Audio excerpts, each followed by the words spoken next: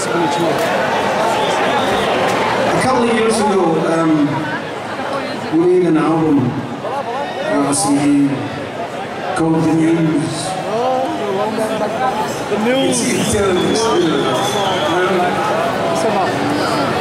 This is going to be a song format now.